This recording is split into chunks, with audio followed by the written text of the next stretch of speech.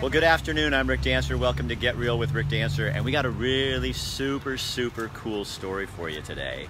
Um, that if, if you are someone who is in downtown Eugene and you are carrying anything from packages and gifts or shopping stuff that you've purchased, or if you're someone who is um, right now not in a home and all your life belongings are with you and you have nowhere to put them, it's a really dangerous situation to have that on the streets.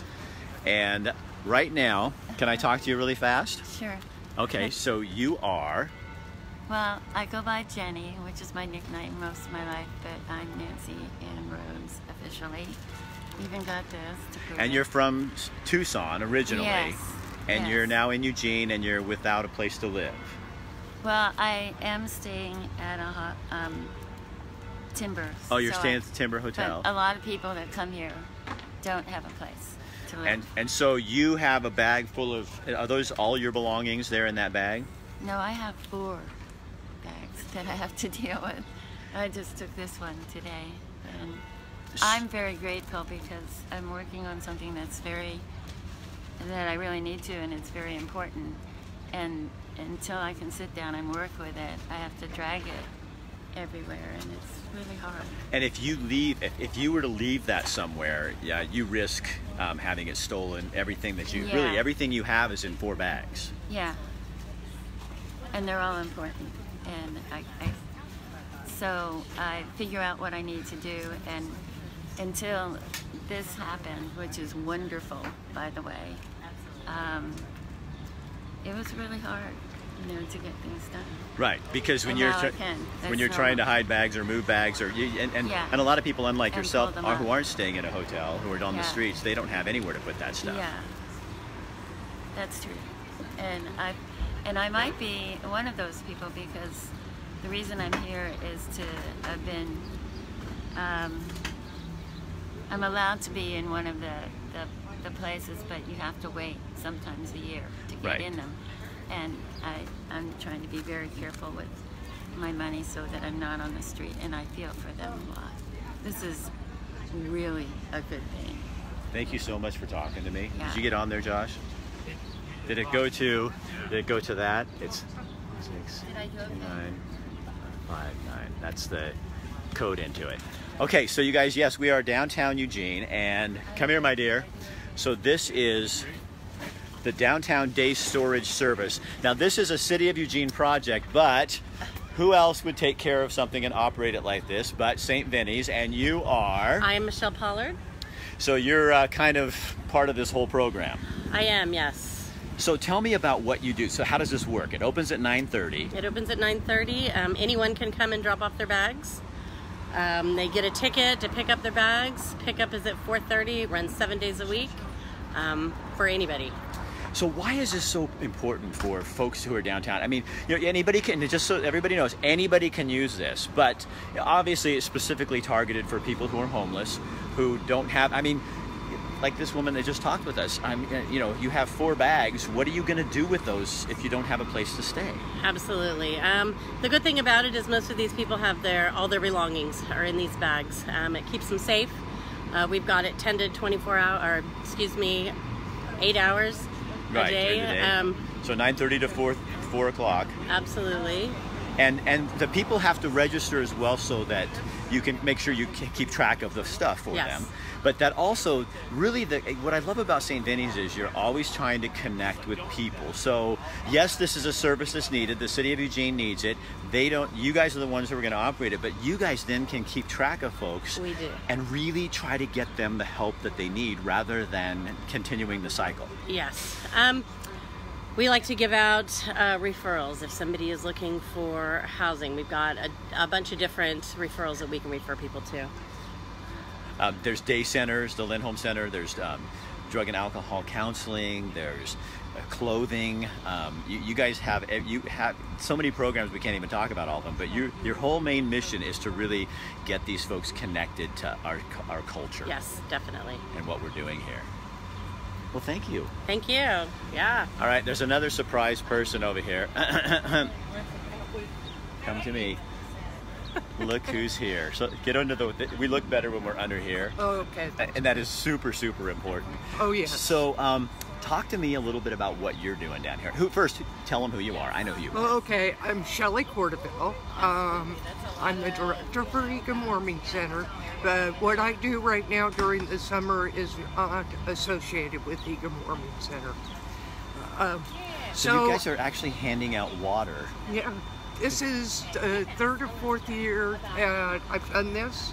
Usually I do it with another volunteer, Made, and he wasn't available, so Chris is helping. Chris me. McAllister, a mutual friend of ours, Yes. and you just walk around downtown and distribute Uh, we water. go to Washington Jefferson Park, and usually what we do is we pull around ice chests on this little dolly that I have, and all over the park, deliver water to people, kind of check in on people. I mean, I've called CAHOOTS a few times because people are pretty, you know, the heat affects them. Right, I think that's what people forget is we always, when it gets below 30, we know the Egan warming centers are going to open before below freezing.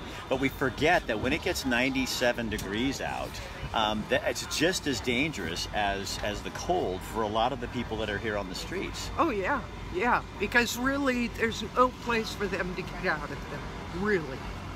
And so what we do is we come downtown and we, you know, pull around ice chests. Um, last year I did a glow one day. I couldn't even get the ice chest up over the curb. It was funny. A man passing So- by had to help me. So why do you do this? I do You. it because it's the right thing to do. It's just the right thing to do. And how can I not? I mean, we go through Glenwood, we go into Springfield, um, we give water for people's pets as well. I don't want to see people dying from the heat, Right. just like people dying from the cold. How can we let our folks die on the street because they're dehydrated, they're not doing well, they're getting heat stroke. Those are important things. And this pod, this this day center, this is really a cool, kind Oh. of progressive, innovative, um, compassionate idea. Oh yeah, I would love to do this in Springfield. Put a pod in Springfield. Mm-hmm. How do we get that? Oh, we got to get the city to do that. Yes. So if we could get the city of Springfield to put a pod somewhere Mm-hmm. um, that people could just go and put their stuff, then St. Vinny's could run it for them Mm-hmm. and operate it, and then we've got both communities looked after. Yes. You're kind of an, you're kind of an animal about this, aren't you? it really is important. It is. And there's some vacant property not far from City Hall I and the is. library. You know exactly Big where vacant lot Yes. where there is right by the railroad tracks. Yes. And why wouldn't we want to use that for something good? Right. Can you imagine lugging around all this stuff all day long? I can. No, I honestly, I've in never thought a- about it till I came down here. heat? And, and I never thought about it. And you guys look behind us. This is what we're talking about, right in there. So there's people's stuff. They can bring it here. Because can you imagine having to haul? And here's the thing that I think is really super important. Um, your, it's not only your stuff, but I'm sure if we went through that, that there's stuff which we would not obviously, but there's children's pictures. There's there's Sure. there's social security numbers. There's birth Yes. certificates. There's things that you take when you lose your home that are mm-hmm. the most important things in your world. We already had a lady mm-hmm. drive by here and she screamed out the window, best idea ever. And I thought, you know, that's kind of what you're looking for, you mm-hmm. know, and that's the, that's the whole idea here. So Josh mans the booth here. That's Josh back there. So Josh, come here, buddy. Come here. He's not going to get away with this. Did you get everything spread where we wanted to get it? Yeah, Oh, yeah, I, you're think, good I think so. I think so. Okay, so w- what do you see when you're down here? I, s- I see all, all walks of life. People who are just going shopping, uh, that want to store their bags for the day. People who go to the library. Um, there's an antique dealer that comes in who shops around Eugene and stores stuff here and there. But the majority of the people are in fact homeless and do store their stuff in here for the day. Relieved when they find you? Oh, absolutely, absolutely. They come in and they just can't think it's enough how much this is helping them. So, what do you learn as a 24 year old man um, about the world working for St. Vincent de Paul? That every every little thing matters. There's a there's a lot of people that may not look like they need help, but they do need help. And so anything you can do to help them and support what, what they're doing and what they're going through is beneficial to your community. Do you also find that everybody has a story? Yeah. Everybody's got a story. Everybody has a story, and they have value. Yeah, they have great value. A lot you hear a lot of different stories from traveling, coming in, and the situation that brought them to uh, to use these services such as these. But there's a lot of good people in this town. They want to help everybody. Hey, Josh, thanks. And of course. All right, you go, guys. So again, this is open. Is it, Paula? Is this open uh, every day? So Monday through Sunday, every single day, from 9:30 to 4, 4:30, and you can through September. And like I said, you can bring your stuff down, uh, leave it here. It's secure, it's safe. All your valuables are safe, and then you can go do your day and come back in the evening and pick at 4:30 and pick up your stuff. So um, again, City of Eugene project but uh, run by St. Vincent de Paul because they uh, know how to take care of people and know how to do this stuff. So, also, if you're on the street and you see the water lady come up, don't be afraid of her.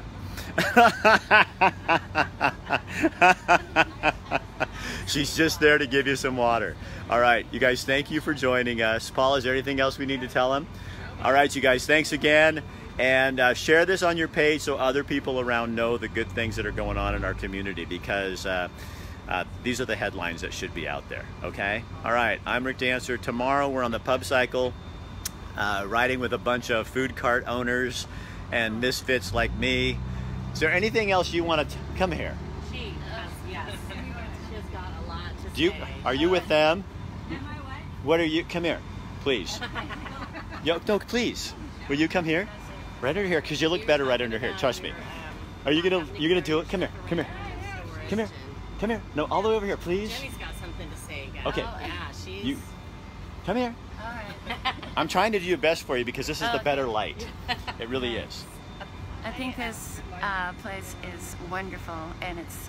I have to carry four bags around, figure out where I can store them, and um, most of the people that I meet here that are using it are just plain ordinary people, and I think that's really important to know.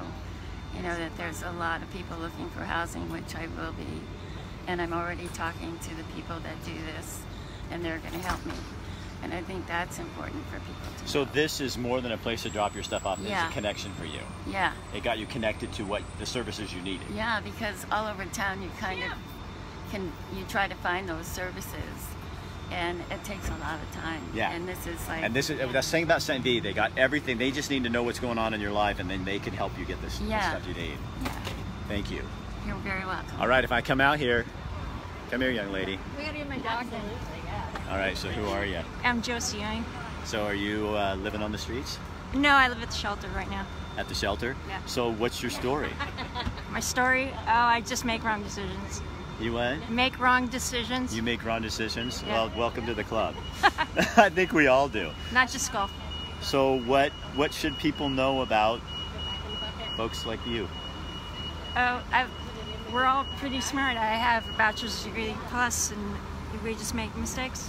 Is there like a moment like in when you're do when you make that mistake where you just feel like you can't come back? Sometimes, Sometimes? Yeah. Is that where you get do you get stuck in that? yeah, it's a loop. It's a loop. Yeah. So what is that like what was can I ask what was the thing that got you stuck? Well, is my ex right now, so So that got you and then you just it, it, and it, so you feel like it's almost like drowning like you get under the water and you can't get back up. yeah.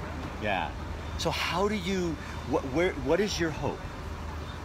Oh, to get, I'm getting disability and they'll um, work on top of that. So I used to program computers, and now I'm at the shelter, so I don't know what happened. Is that kind of is that pretty common a story is it, it's hard to really define the moment that happened it just Yeah, there's a lot of people with degrees there, so how hard is it on the street? I don't try to be on them. How hard is it in the shelter? It's pretty hard. A lot of broken people that are angry.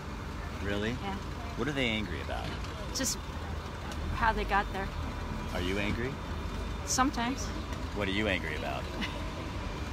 I love talking to you because I don't, you know, how else are people out here going to learn and how am I going to understand? Great. You know what? And the last thing we need is any more labeling. I'm so damn tired of people labeling people. You know what I mean? Yeah, You're a smart lady, right? sometimes. Look smart. Book smart. Yeah. But when it comes to practical stuff, Yeah. well, good God, you're living on the street. Well, in a shelter, so you do have some book smart. I mean, some some street smarts, right? Book smart.